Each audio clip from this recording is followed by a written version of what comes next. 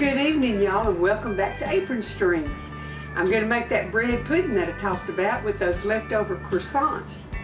I like to get that big old thing of those big croissants at Costco, and then we eat them in breakfast jacks, breakfast sandwiches, ham and cheese, and um, eggs. And then what's left, I either freeze them for another time or I make a bread pudding. So today it's bread pudding. So I'm going to get the camera turned around and we're going to get busy. I've already got my um, oven heating to 375 and so I'm going to put four cups of milk in my bowl.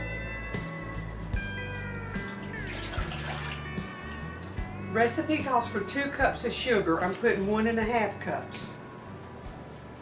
And I'm going to stir that until it's um, mixed good. Or mixed well, if you want to be proper.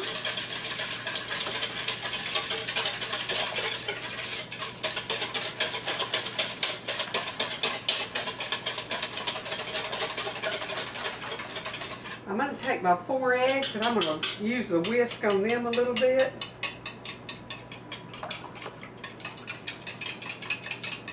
before I put them in there and whisk them some more.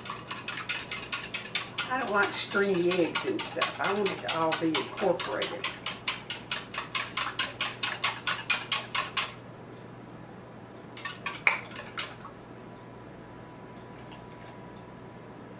I guess that's good enough. I started spilling it, so I just put it in there. calls for two tablespoons of vanilla, but I'm thinking that that was too much vanilla and I've got good homemade vanilla from my friend. So I'm going to put just good one tablespoon of good vanilla in here.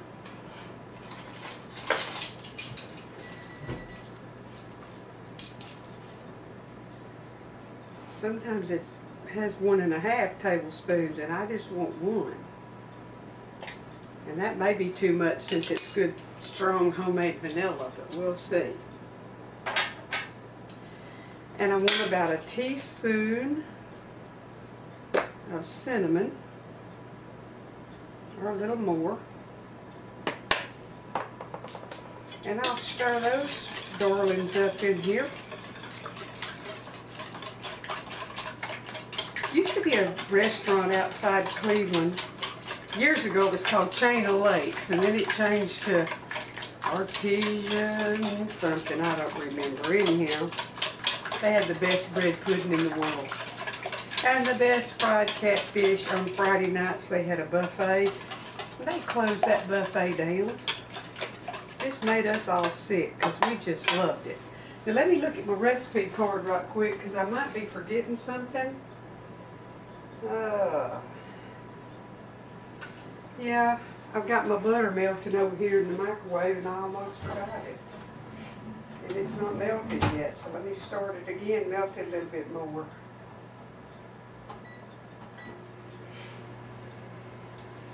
Add a little bit more calories to it.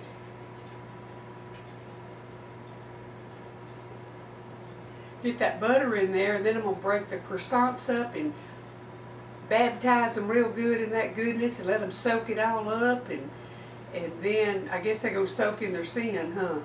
And then I'm going to add my raisins and we will bake it at 350 for about 35 or 40 minutes. Now I have a recipe for whiskey sauce, but I don't think I'm going to make whiskey sauce.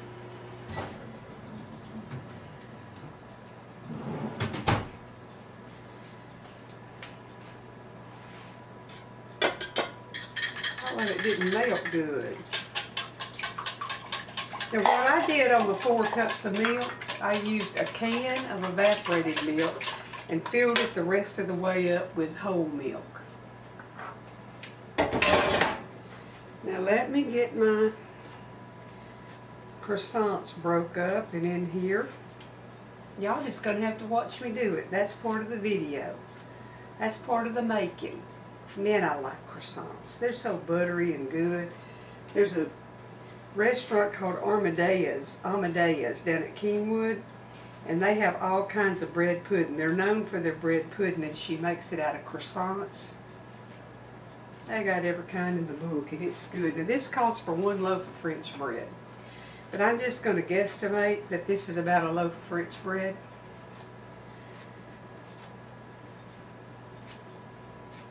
You know, if you wanted to make a bread pudding, I think this whole thing of croissants is like $5 and something, and it would make a huge bread pudding to take somewhere for a dessert. And you usually got eggs and milk and sugar on hand. Now I am going to add some raisins to it.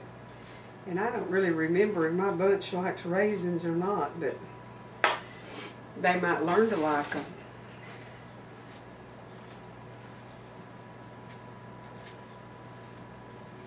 These are, are two or three day old croissants, so they got a little bit of body to them.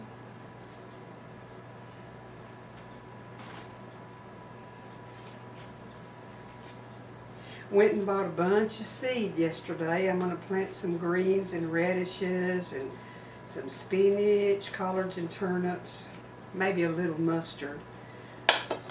Um, some in my raised beds and some in the green stalks. And I'm going to see how they turn out.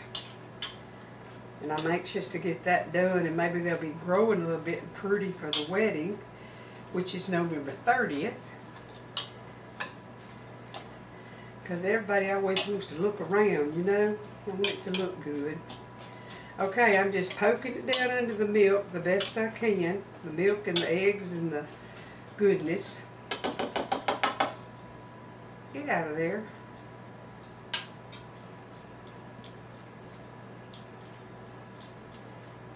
Let me rinse my hands. I'm going to let this soak just a jiffy and I'm going to get my uh, pan ready to put it in it and I'm going to stir the, I'll go ahead and sprinkle these on the top. They really, they're not real brand new raisins. So maybe they need to be down in there soaking too a little bit before I put it in the oven.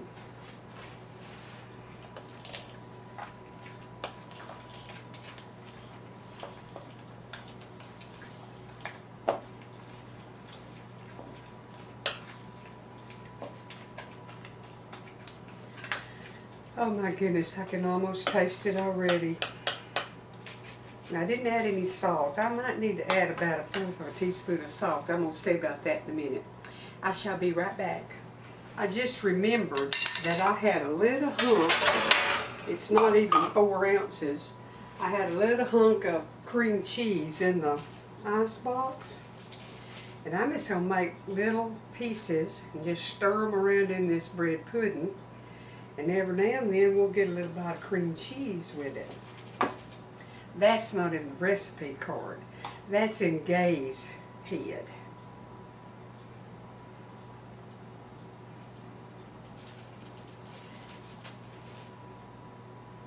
April loves bread pudding too.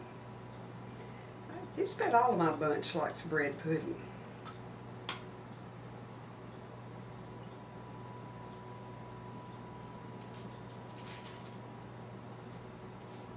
It's not all the same size. If y'all are OCD, oh well.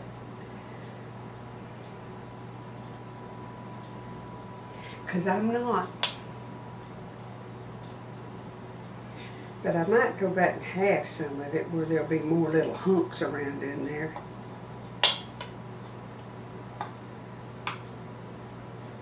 You can make, when I was growing up, we had bread pudding out of leftover biscuits.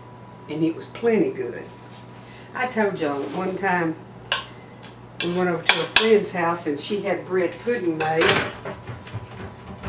Of course, we knew we loved bread pudding, but when Dorothy served hers, she had a she had made a lemon sauce to go on it. So we realized we'd been deprived for years on our bread pudding because we didn't get lemon sauce.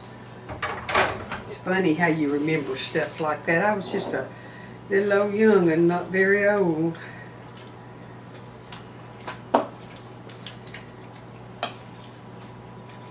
I might should put one of those burger buns in here, but I'm not. It's a little bit juicy. It didn't soak it all up. But if it's a little juicy, that juice is good and rich and it'll be yummy. Now I should have melted butter in here, but I didn't. I think that's what the melted butter was for and I wasn't thinking. So I sprayed it with some canola oil spray. And if y'all have got a, a message about canola oil, I'm sorry, that's what I had handy. Man, man, man. You know, at Christmas, you can make this and put some red and green chopped cherries in it. And it's so pretty. And it's not your typical rich Christmas dish, but everybody likes it.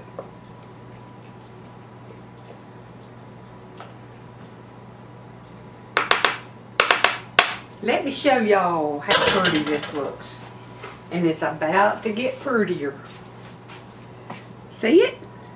All ready to go in the oven. Okay, I'm going to go over there and put it in the June oven. And I'll be back when I take it out. Okay, y'all. I don't know if I showed it to you or not. It's cool enough now that I can lift it. There you go. See the little bits of the cream cheese and the raisins and all? Gonna be some good eating right here. And I'm just gonna take one little corner and taste it because I think the kids are coming tonight and I want them to, I want to have some with them.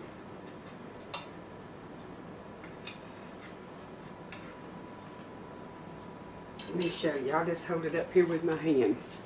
It's very moist. You can see the raisins. It's almost squishy. It's so moist. Let's see what it tastes like.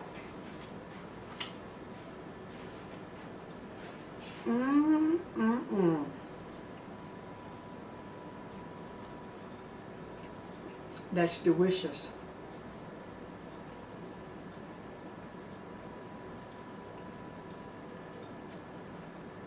I might as well eat the other bite. Y'all use the same method. Any kind of bread.